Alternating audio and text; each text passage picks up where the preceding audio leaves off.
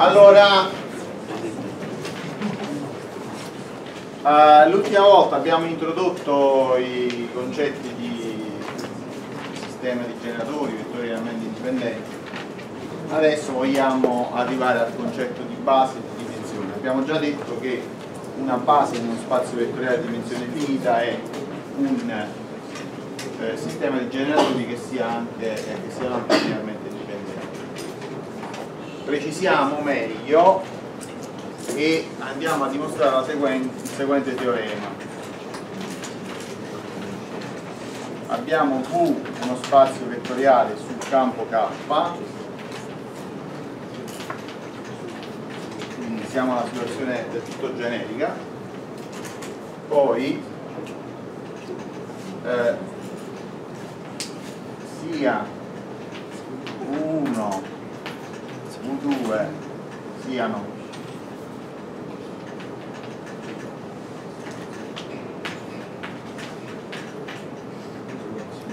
VH contenuti in mu.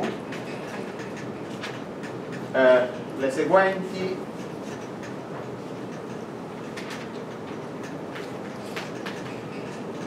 Affermazioni sono equivalenti.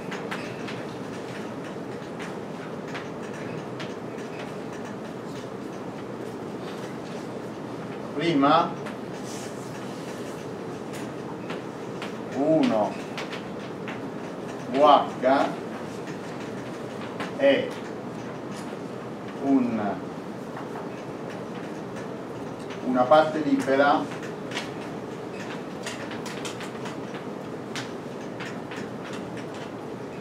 massimale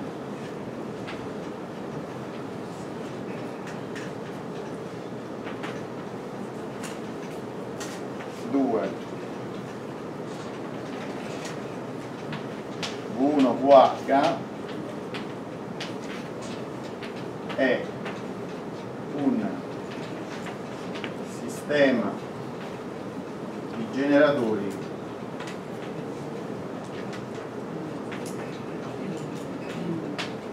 V minimale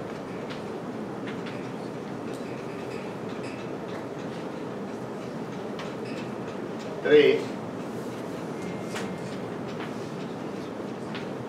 uno VH è contemporaneamente sia parte libera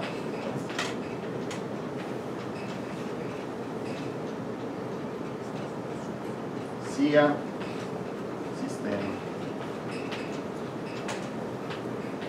di genere.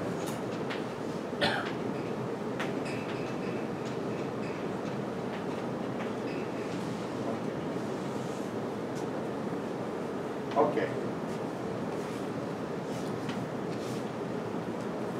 Allora, vi ricordo, massimale significa che se aggiungiamo un altro vettore non è più parte libera, quindi non è contenuto propriamente in un'altra parte libera. Minimale significa che se togliamo uno qualunque dei gluconi non è più un sistema di generatori. E la 3 è ovvio perché deve essere sia parte libera che sistema di generatori. Andiamo a dimostrare questa proposizione.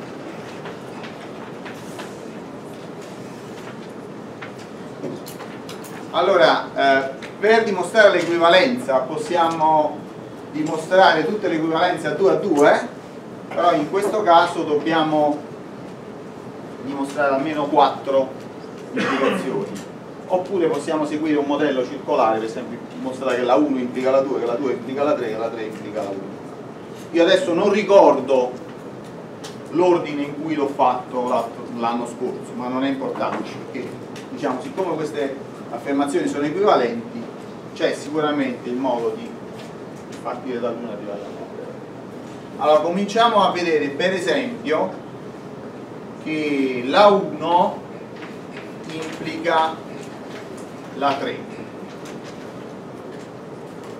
Poi andiamo a vedere che la 3 implica la 2 e che la 2 implica la 3. Allora, andiamo a buttare l'acqua lavagna.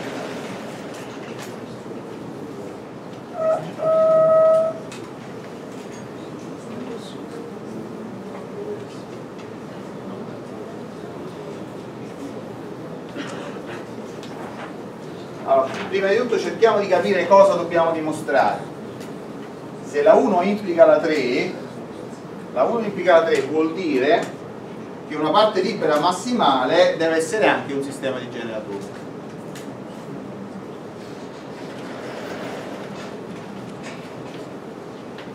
Per dimostrare 1 implica 3 dobbiamo verificare che una parte libera massimale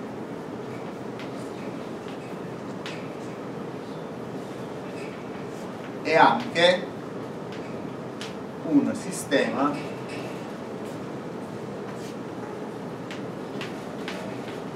di generatori. La cosa è ovvia, dimostriamolo per assurdo. Uh, se per assurdo così non fosse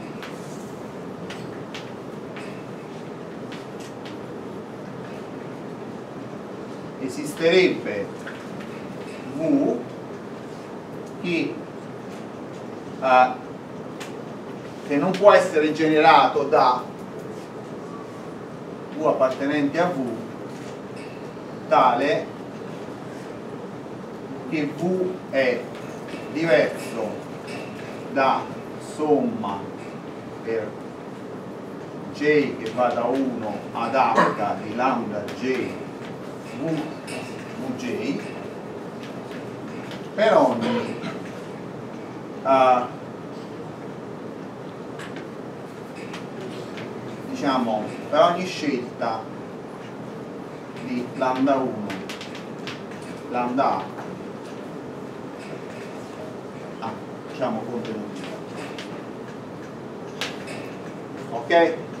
Oh, questo qua adesso l'ho scritto così perché eh, non abbiamo definito lo span però diciamo lo scrivo qua. Si dice, si dice span di V1 UH uguale per definizione insieme delle somme per j che va da 1 ad h di lambda j uj tale che lambda 1 lambda h siano tutti appartenenti a cioè tutte le combinazioni lineari possibili di un certo numero di vettori fissati si chiama span. Span significa spazio generato da. È, è banale esercizio, questo qua è un sottospazio vettoriale, questo è un sottospazio vettoriale di V, perché se, se, faccio la somma di due vettori dello span, o continuo un vettore dello span, dello span per un coefficiente, non esco fuori da questo spazio. Eh? Quindi invece di scrivere così, qua potrei scrivere V non appartiene allo span. Di V1 qua. Allora torno un attimo indietro ripeto. Noi abbiamo per ipotesi una parte libera massimale. Dobbiamo dimostrare che questa è parte libera, già lo sappiamo, e che è un sistema di generatori, cioè la 3 supponiamo per assurdo che non lo sia. Allora ci deve stare in V un qualche vettore che non possiamo generare con i vettori V1 qua. E qua abbiamo scritto che V non può essere generato. Non può essere generato, non appartiene allo span di V1 VH è la stessa cosa. Ok. Allora dico che V1 UH V è ancora parte libera. Per forza. Allora questo vettore che non posso generare se io lo aggiungo ai vettori di prima che era una parte libera è ancora una parte libera. Perché?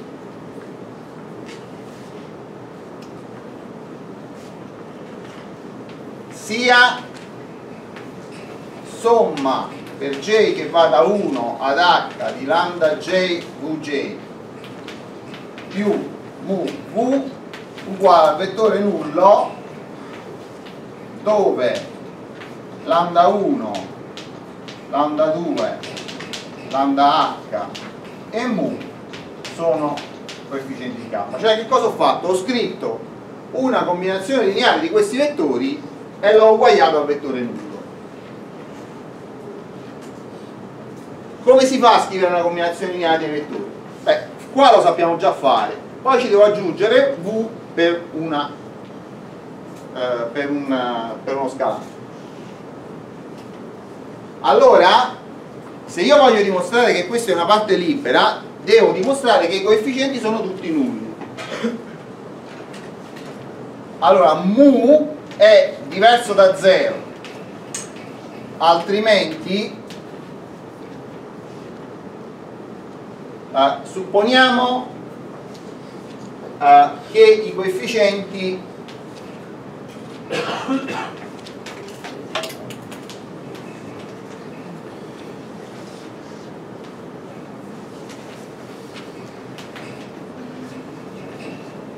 non siano tutti nulli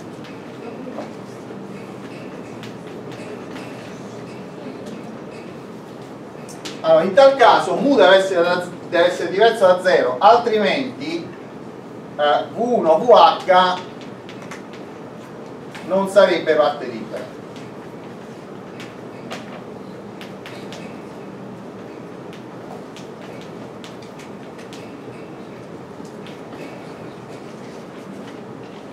Ma allora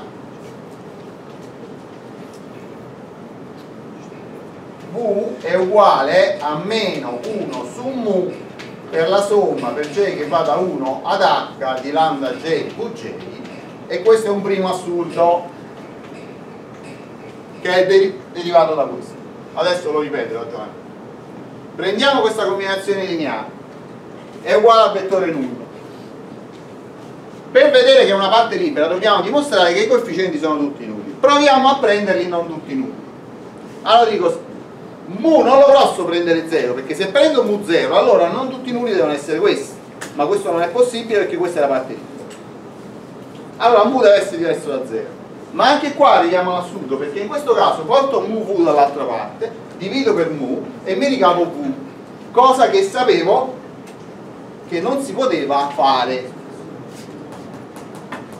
Perché V non si può generare oh, che cosa ho fatto? Questi qua lo posso portare dentro no? meno lambda j su mu ho scritto V come una combinazione lineare di V1 VH cosa che non si poteva fare ed è un assurdo l'assurdo è derivato dall'aver supposto che i coefficienti non fossero tutti nulli quindi V1 VH è parte libera e qui ho finito la dimostrazione perché la mia parte libera era massimale. Allora io ho dimostrato ho, quell'ipotesi là che V non potesse essere generato da V1 quarta l'ho fatta per assurdo. E qua sono arrivato a un assurdo. Perché che cosa vuol dire? se questa è una parte libera questa contiene strettamente V1 VH che non era una parte libera massimale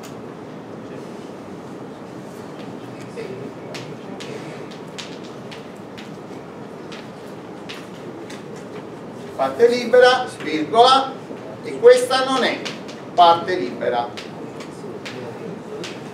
Massimale. E quindi ottengo la suma questo finisce la dimostrazione che 1 implica 3 ok? 1 implica 3 inizia qua tutta questa lavagna qua è 1 implica 3 e finisce qua. È chiaro il ragionamento? Lo ripeto se non diciamo vi è chiarissimo il ragionamento vi mettete a casa con calma ve lo ripetete fino a che non mi entrate in testa perché di questi ragionamenti ne faremo non uno non dieci li faremo continuamente quindi eh, si tratta de, diciamo, delle cose basilari per cui eh, diciamo, se ci volete capire qualcosa è meglio capire. Allora io cosa dico? so che questa è una parte libera massimale voglio dimostrare che è un sistema di generatori. Provo a vedere ma cioè, magari non è vero magari non è un sistema di generatori. Allora ci deve stare qualcosa che non posso generare. Allora questo qualcosa che non posso generare lo aggiungo, lo posso aggiungere alla mia parte libera e ottengo ancora una parte libera ma questo sarà assurdo perché la mia parte libera di, di prima era massi, massimale questo è il discorso che voglio fare. Allora eh, se c'è qualcosa che non però devo ancora dimostrare che se c'è qual, qualche vettore che non posso generare questo aggiunto a, a, a, quelli di prima mi dà ancora una parte libera allora vado a fare la combinazione lineare. Eh, suppongo che i coefficienti non siano tutti nulli. Ah, devo dire che per forza questo coefficiente è diverso da 0 altrimenti non sono tutti nulli quelli di prima ma questo non è possibile perché quella di prima era una parte libera. E allora mi posso ricavare V e allora lo potevo generare ma questo è assurdo perché V non lo potevo generare quindi un vettore che, che non posso generare non ci sta e quindi quello è un sistema di generazione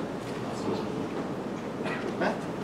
nel momento in cui ho dimostrato che il vettore da generare cioè che non, che non è possibile generare non c'è cioè, supposto che ci sia e sono arrivato a un assurdo allora che vuol dire? che V1VH lo scrivo qua quindi V1 VH V2 VH è un sistema di generatori. E questo finisce la dimostrazione che 1 implica 3 era già implicito in quello che avevo scritto qua però scriviamolo esplicitamente che è meglio è chiaro questo ragionamento? perfetto. Adesso andiamo a cancellare solo la dimostrazione l'enunciato lo lasciamo stare. E andiamo a vedere che 3 implica per esempio 2 cancelliamo la dimostrazione di 1 implica 3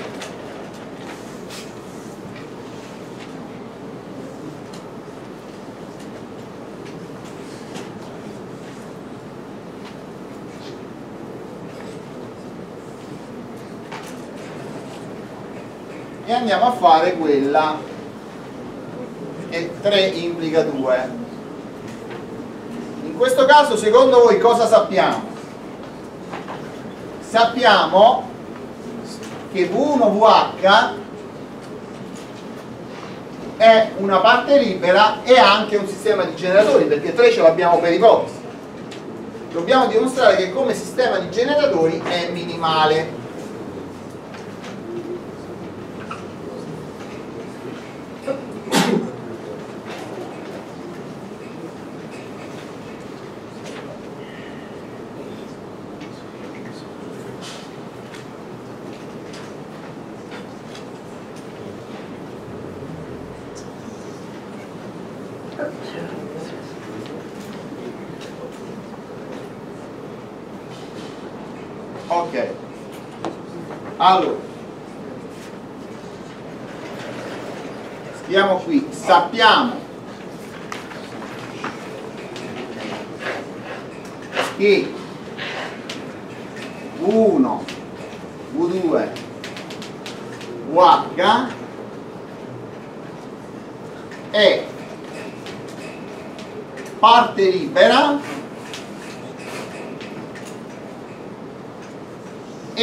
contemporaneamente sistema di generatori.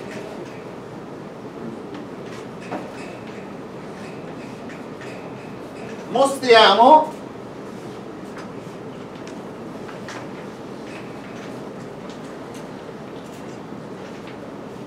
che 1 UH è un sistema di generatori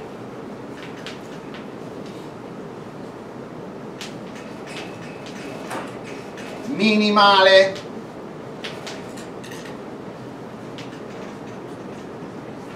ok?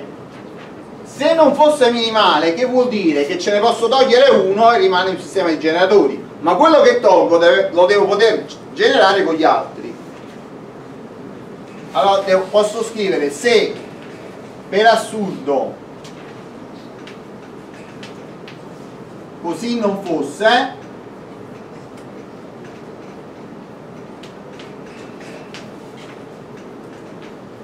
esisterebbe un J0, un certo indice, tale che Vj0 sarebbe uguale a meno 1 su lambda con l'indice J0 per la somma per J che va da 1 ad H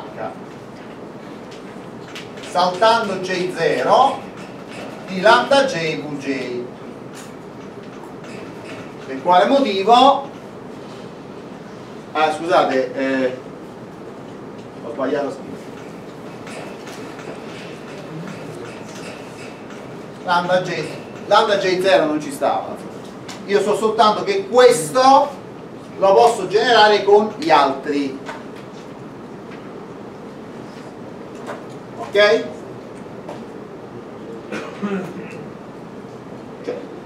Se non è un sistema di generatori minimali ce ne deve stare uno che posso generare usando gli altri.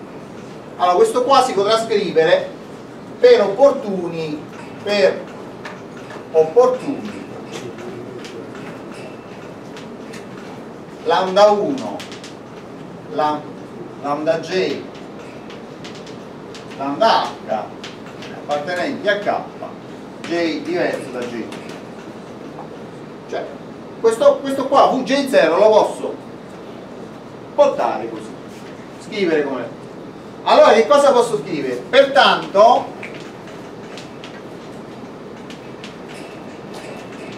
somma per J diverso da J0 per J che va da 1 ad H J diverso da J0 di lambda J Vj meno Vj0 fa il vettore nullo. Allora lo porto a destra. Allora vedete questa non è altro che una combinazione lineare di V1, V2, VH qua ci mancava Vj0, qua c'è. Dico che questa mi dimostra che i, tutti i vettori V1, VH sono linearmente dipendenti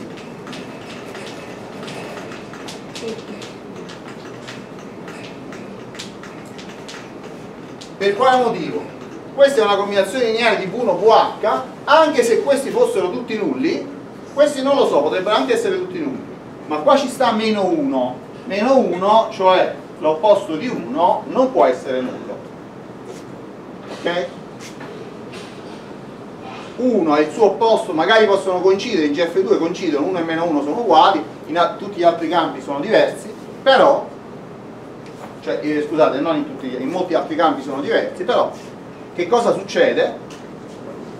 Che sia uno che l'opposto di uno non possono essere nulli, quindi qua c'è una combinazione lineare uguale al vettore nullo, qua c'è il coefficiente meno 1, non è nullo, e quindi che vuol dire che i vettori sono dipendenti. Ma se sono dipendenti non era una parte libera, ma io per ipotesi sapevo che quella era anche una parte libera. Quindi questo è un assunto. Da dove è derivato l'assunto? Dall'aver ipotizzato che il sistema di generatori non fosse minimale. Quindi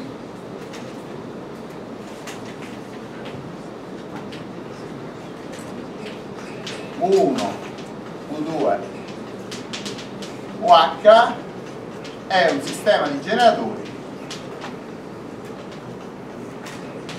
minimale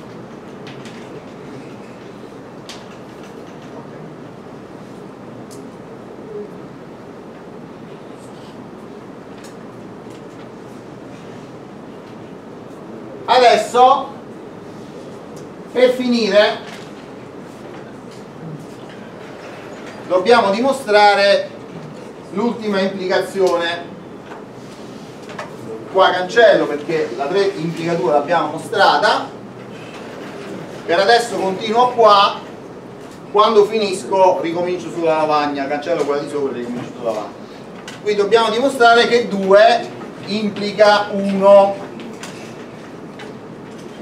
se dimostriamo questa abbiamo finito il teorema perché abbiamo dimostrato che 1 implica 3 3 implica 2 2 implica 1 e quindi si implicano tutte quante l'una con l'altra perché se voglio dimostrare che 1 implica 2 eh, vedo, siccome 1 implica 3 3 implica 2 siamo a posto ok? in questo caso cosa so? Uh, so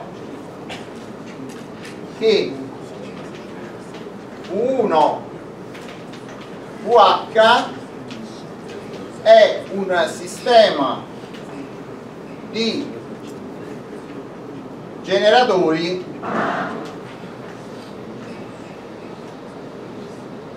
eh, è un sistema di generatori minimale.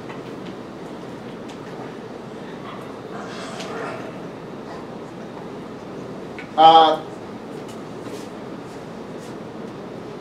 in realtà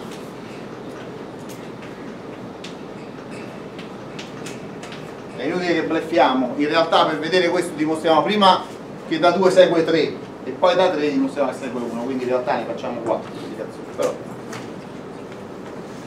allora andiamo a vedere prima. Mostriamo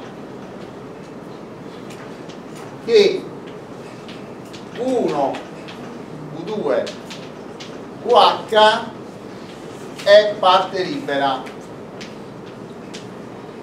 Prima dimostriamo che è parte libera. Allora se è parte libera varrà la 3 perché sarà contemporaneamente una parte libera e un sistema di generatori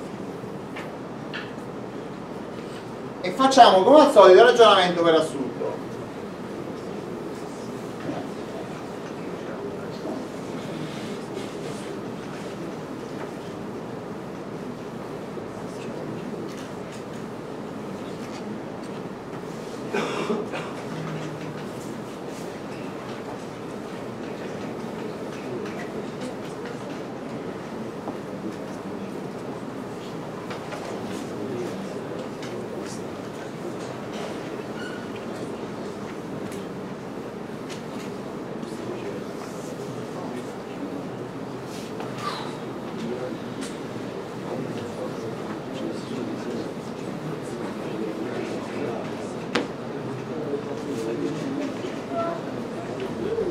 se per assurdo 1 2 VH fossero linearmente dipendenti, cioè non fossero una parte libera, allora esisterebbero lambda 1, lambda 2, lambda h. Non tutti nulli. Tali che somma per j che va da 1 ad h di lambda j vj faccia il vettore nullo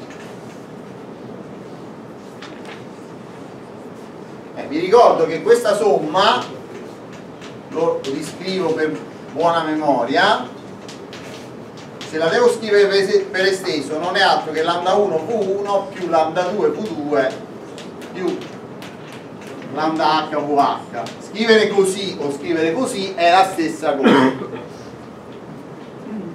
Allora siccome i coefficienti non sono tutti nulli sia J0 tale che lambda J0 è diverso da 0 allora VJ0 lo posso scrivere portando dall'altra parte e dividendo per lambda j0 come meno 1 su lambda j0 stavolta. Per la somma del j che va da 1 ad h j diverso da j0 di lambda j j cioè sarebbe a dire prendo lambda 0 j0 questo è uguale a vettore 1 lo porto di là e divido per, j0, per eh, lambda j0 che vuol dire? vorrebbe dire che questo Vj0 si può generare tramite gli altri.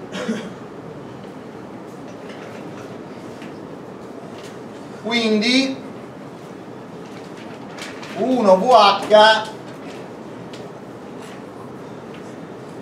non è sistema di generatori minimale. E questo è assurdo. Pertanto V1VH deve essere una parte libera. Non sarebbe vediamo, non sarebbe.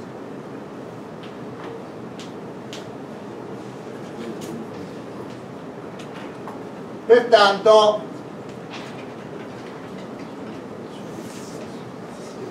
mostriamo adesso.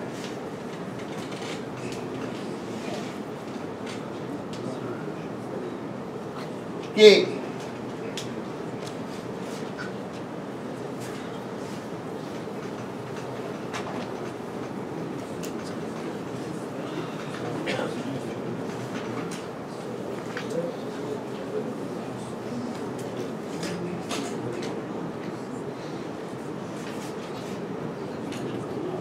uno VH è un uh, è una parte libera massimale.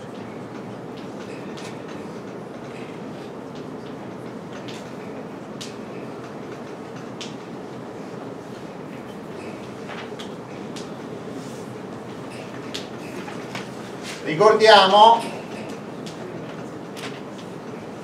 che 1VH 2VH è per ipotesi di un sistema di generatori e parte libera. Sistema di generatori perché per ipotesi sapevo che era un sistema eh, dovevo dimostrare 2 implica 1 che sapevo che la 2 quindi sapevo che era un sistema di generatori addirittura minimale. Però dal ragionamento che ho già fatto ho visto che è anche una parte libera. Adesso come parte libera devo dimostrare che è massi, massimale. Sia V appartenente a V.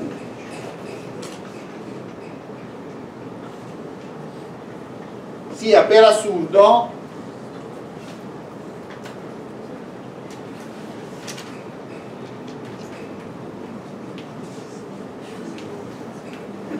V appartenente a V tale che 1 VH V sia parte libera. Che significa negare che una parte libera sia massimale? Che ci posso aggiungere un vettore e questo ancora non è, è ancora eh, parte libera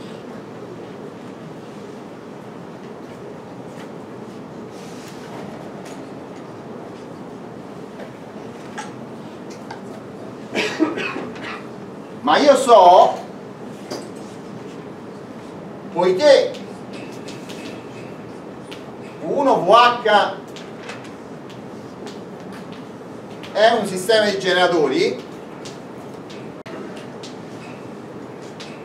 esistono lambda 1 lambda h tale che v è uguale a somma per j che va da 1 ad h di lambda j vj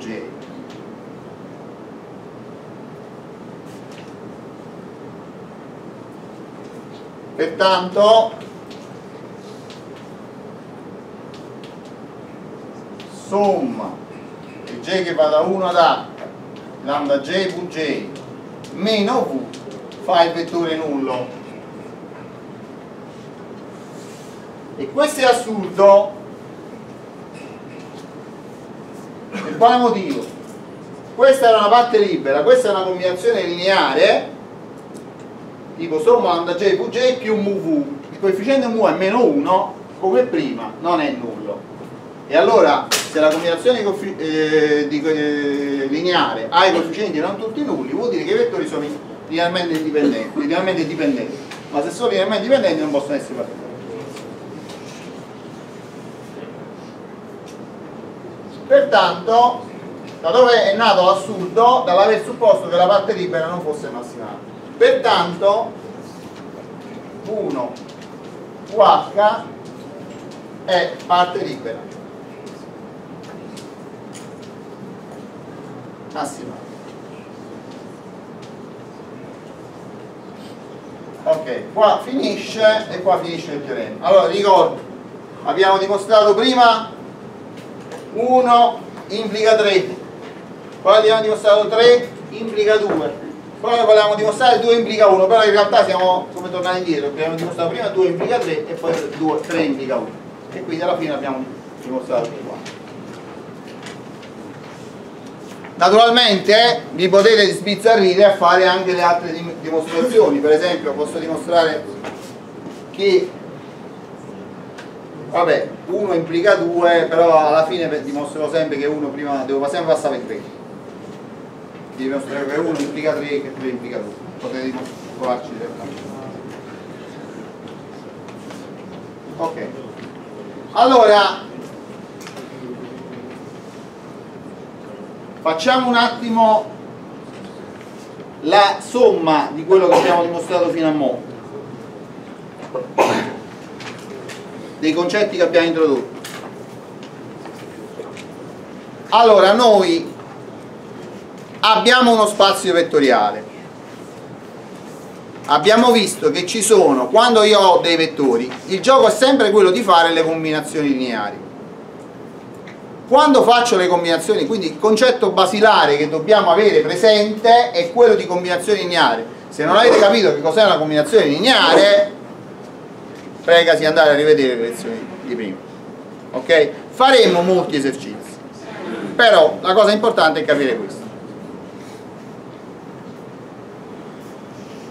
l'abbiamo capito già in R2 in R3 abbiamo capito cosa sono le combinazioni lineari queste qua cosa mi danno siccome gli scalari io li prendo come mi pare liberi, al variare di tutti gli scalari possibili, le combinazioni lineari mi danno un sottospazio.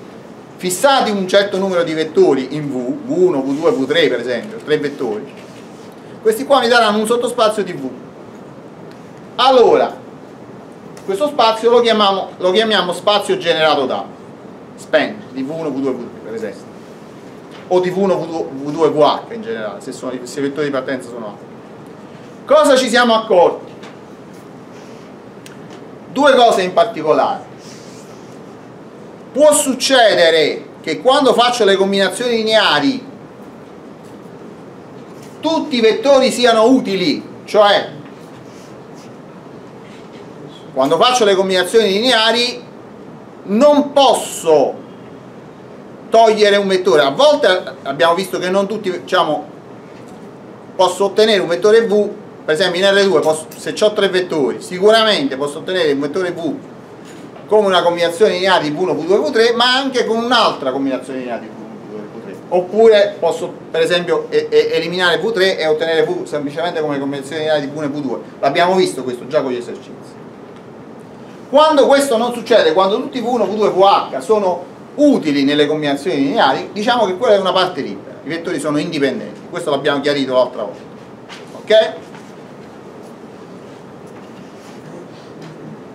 E questo che cosa vuol dire? Vuol dire che questi V1, V2, VH sono all'interno di quell'insieme tutti necessari per fare lo span. Lo span sta in V che è uno spazio più grande, quindi in qualche modo per fare tutto V ci vogliono, preciseremo dopo, più vettori di V1, V2, VH, quindi vedremo la dimensione di V è più grande, maggiore o uguale a. Viceversa, Un'altra cosa che può capitare è che quando vado a fare le combinazioni lineari, cioè lo spend V1, V2, VH, ottengo tutto V. In questo caso non, non sto dicendo che i vettori sono necessari per fare lo spend, sono sufficienti per fare lo spend che coincide con tutto V, quindi sono sufficienti per fare tutto V. Quindi per fare tutto V ce ne vogliono o H o di meno. Quindi in qualche modo questo ci prefigura il fatto che la dimensione di V sarà minore o uguale di H. Eh? Quindi quando abbiamo una parte libera e non siamo arrivati a V, dobbiamo aggiungere altri vettori per cercare nelle combinazioni lineari di arrivare a tutto V. Se invece abbiamo un sistema di generatori e facciamo tutto a V, riusciamo a fare tutto a V, quello che possiamo provare a fare è vedere se riesco a, fare la stessa cosa con, togliendo qualche VG, qualche generatore. Ok? Quando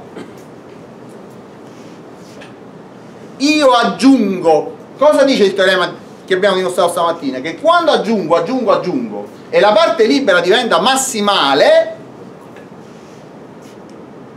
automaticamente genero tutto V. Perché se non generavo tutto V potevo ancora aggiungere. Quindi parte libera massimale automaticamente sistema di generatori. Sistema di generatori, generavo tutto V erano dipendenti, tolgo, tolgo, tolgo. Sistema di generatori minimale automaticamente parte libera cioè automaticamente sono indipendenti perché se erano dipendenti potevo togliere ancora è chiaro, questo concetto non deve essere chiaro, deve essere di più, deve essere stampato a lettere di fuoco nella vostra testa. E quindi da questo, da queste due osservazioni fondamentali, scaturisce il teorema, che poi non è altro che una piccola complicazione di quello che ho detto. Cioè le tre proprietà sono completamente equivalenti. O è parte libera massimale, o è sistema di generatori minimali, o è contemporaneamente parte libera e sistema di generatori, è la stessa cosa. Cioè se è l'uno è anche le altre due quindi una, un sistema di vettori V1VH che sia una di queste tre cose automaticamente le altre due si chiamerà base. Questo adesso lo scrivo prima della pausa. Però voglio dire un'altra cosa prima della pausa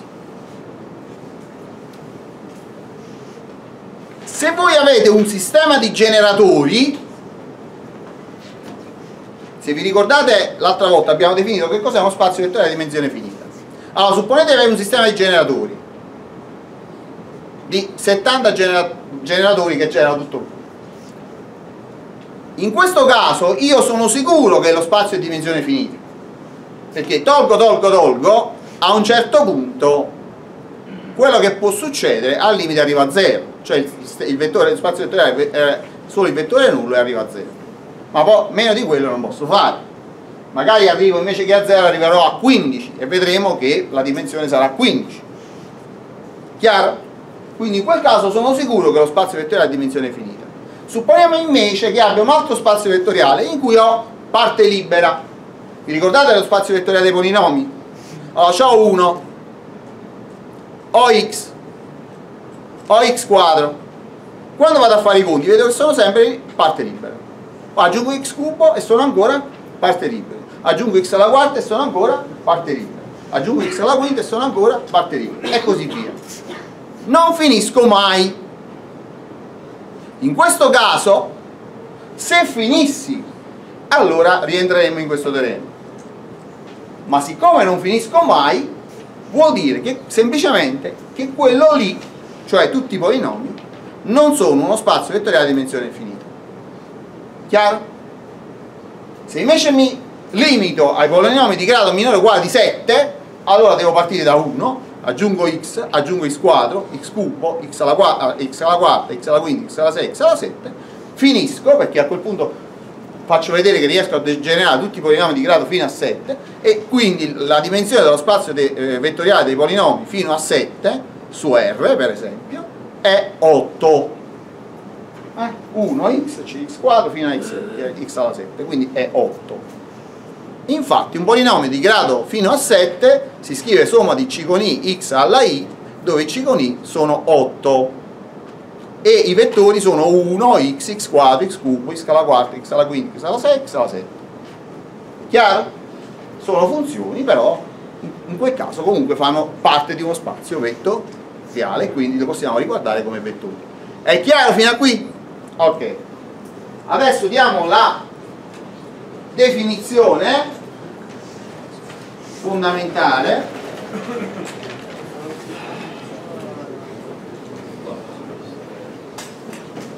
poi facciamo una piccola vediamo un po' se è orario di fare una piccola pausa. No c'è ancora tempo.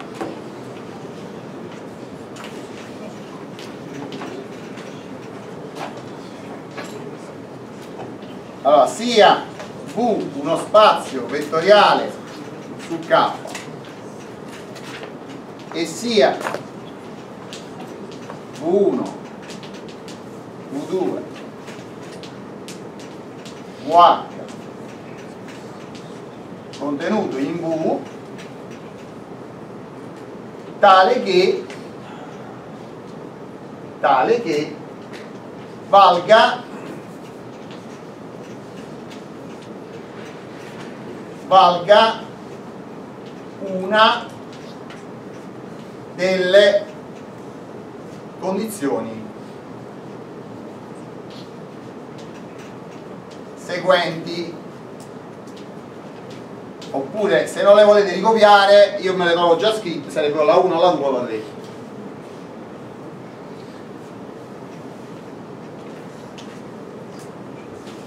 e quindi tutte e tre.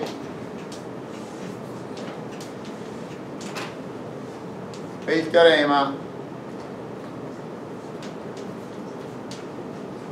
precedente. A me basta verificarne una.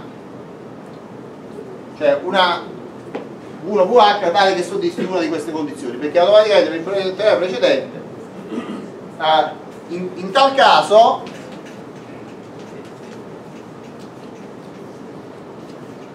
U1, U2, UH si dice base di V. Quindi che cos'è una base di uno spazio vettoriale? È una parte libera massimale, oppure è un sistema di generatore minimale, oppure è una parte libera di un sistema di generatore. Quali spazi vettoriali hanno sicuramente una base? Quelli di dimensione finita, perché io prendo un sistema di generatori, tolgo e a un certo punto arrivo a quello minimo. Uh, nel caso di spazi vettoriali di dimensione infinita esiste l'analogo di una base, però uh, potremmo dire un sistema, quando lo, se e quando lo faremo lo, lo chiameremo in qualche modo. Però non è non viene chiamato direttamente base. Per esempio negli spazi con prodotto scalare verrà chiamato sistema ortonormale completo che sarà l'analogo di una base. Però se troviamo una di queste cose sicuramente lo spazio è di dimensione finita perché abbiamo trovato un sistema di generatori finito e questa si chiama base. Adesso cosa ci manca? ci manca ancora qualcosa. Io vi ho già preannunciato, ho già parlato due, tre, quattro volte del concetto di dimensione il problema è che questo concetto di dimensione potrebbe essere in qualche modo un numero mal definito chi, secondo voi come lo dovremmo chiamare? chi dovremmo chiamare la dimensione dello spazio vettoriale? Chi sarà la dimensione dello spazio vettoriale?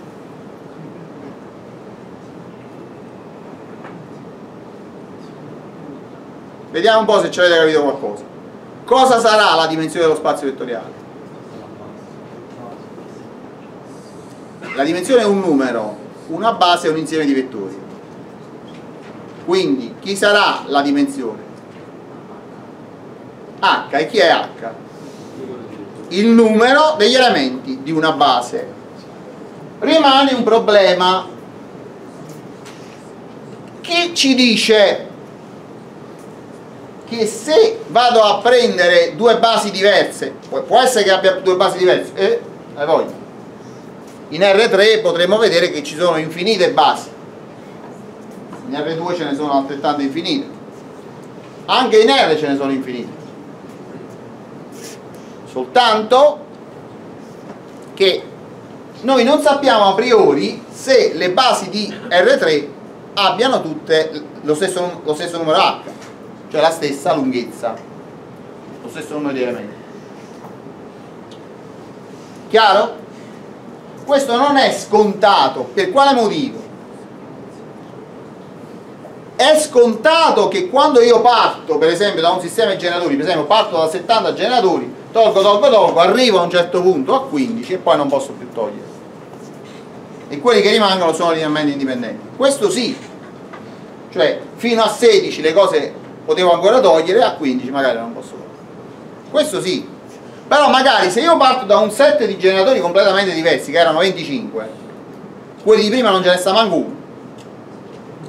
Tolgo tolgo tolgo. Chi mi dice che mi fermo a 15? magari uno dice potrei essere un, con un altro set di generatori potrei essere più fortunato e arrivare a 14 o più sfortunato e rimanere a 16 quando arrivo a 16 sono già parte libera. O quando arrivo a 20 sono già parte libera allora ci vuole un teorema che dica che se prendo due basi che a priori sono completamente diverse allora le due basi hanno la stessa dime, dimensione. Hanno la stessa lunghezza e quindi quella lunghezza possiamo chiamarla dimensione dello spazio vettoriale quindi il concetto sarà quando avrete uno spazio vettoriale cioè avete due basi se una è lunga 7 l'altra non può essere lunga 9 sarà pure lunga 7 non può essere lunga 5 sarà pure lunga 7 chiaro questo? allora per dimostrare questa cosa non la, faccio, la dimostrazione la faccio dopo la pausa. Però una cosa faccio a tempo a farla prima della pausa. Un lemma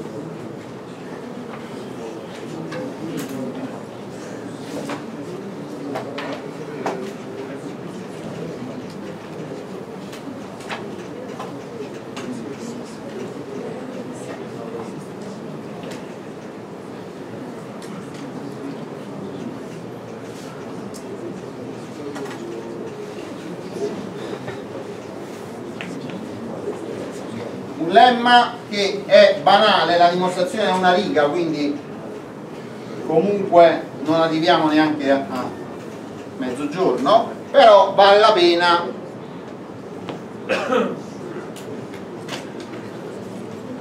Allora sia lemma sia V uno spazio vettoriale sul campo K che sia V1, V2, VH base. Di V. Allora eh, sia VJ1 VJ2 VJS contenuto in V1, V2, VH con, contenuto in V con S minore di H. Cioè andiamo a prendere un sottoinsieme di questi J1 minore di J2 minore di JS maggiore o uguale di 1 cioè abbiamo tolto qualche elemento. Allora VJ1 VJ2 VJS non è base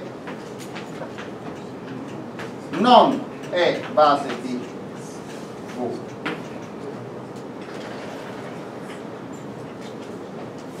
Inoltre se sia V appartenente a V generico allora V1 V2 VH V non è base di V per quale motivo? adesso lo vediamo però prima vediamo che cosa abbiamo detto abbiamo detto che una base non può contenere un'altra base più piccola e non può essere contenuta in una base più grande. Allora la dimostrazione è ovvia perché?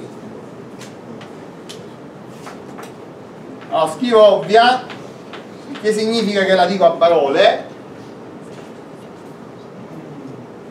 Questa era una base cioè era un sistema di generatori mini ci ho tolto qualcosa? questo può essere un sistema di generatori questo era minimale, questo non è un sistema di generatori allora se non è un sistema di generatori non è una base. Questa era una base fino a, fino a VH quindi, quindi, era una parte libera? Massi? Ci ho aggiunto V che non sta diciamo V non appartenente a V1VH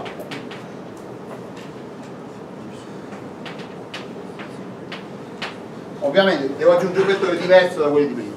Ce ne aggiunto un altro ah, non è importante perché pure che ci aggiungessi scusate questo non serve. Perché pure se aggiungessi V2 un'altra volta sarebbero sempre linearmente tipo questo è un altro vettore qualunque esso sia. Questa è la parte libera. Massi perché era una base. Ci aggiungo V. Non può essere più parte libera. Se allora se non è una parte libera non è una base.